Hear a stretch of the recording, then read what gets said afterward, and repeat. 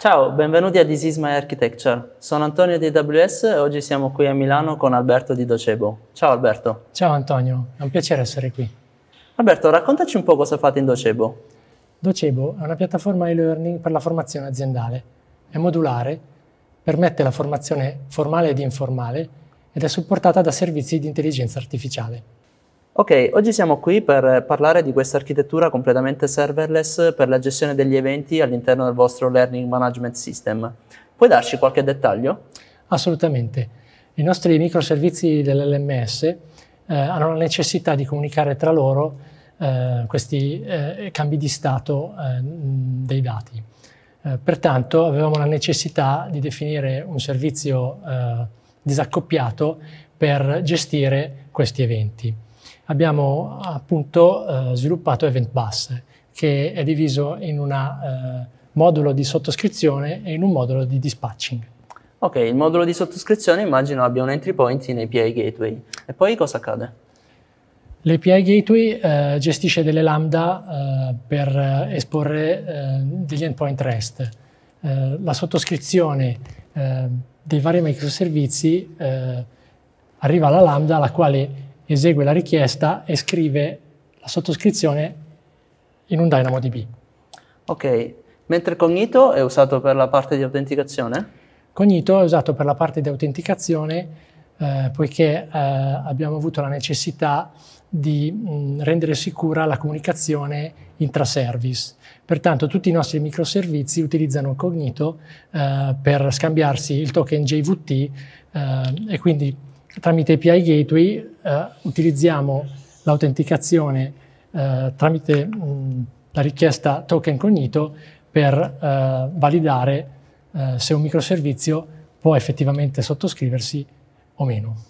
Ok, quindi una volta salvate le sottoscrizioni eh, in una tabella DynamoDB, immagino che i vari microservizi utilizzino SQS come entry point, corretto? Corretto. Eh, tutti i nostri microservizi, se devono notificare un cambio di stato, scrivono l'evento all'interno della coda principale SQS. Questa coda, tramite un SQS to Lambda Trigger, esegue una lambda che si preoccupa di definire a quale delle code secondarie dover eh, riscrivere il messaggio. Pertanto la lambda leggerà le sottoscrizioni dal DB Dynamo per definire dove scrivere il messaggio. Ok, e una volta che i messaggi sono in queste code secondarie, cosa accade? Accade un po' la medesima cosa. Uh, queste code, tramite un lambda SQS trigger, uh, eseguono uh, la lambda di, dedicata a quella coda di servizio che sempre attraverso Dynamo leggerà a quale endpoint dispecciare il messaggio e a questo punto il messaggio verrà deliberato. Ok, nel caso in cui ci sia un errore durante il dispatching del messaggio, cosa accade? Il messaggio viene perso oppure avete un meccanismo di gestione dell'errore? Uh, abbiamo un meccanismo di gestione dell'errore, uh, quindi se la lambda non riesce a dispecciare il messaggio, la lambda eh, reencoda il messaggio in una coda eh, di errore, una coda dedicata.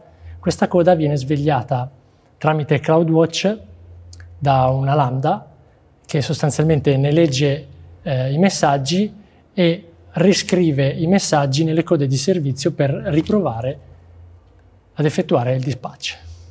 Ok. E qual è il, il principale beneficio che avete riscontrato in questa architettura?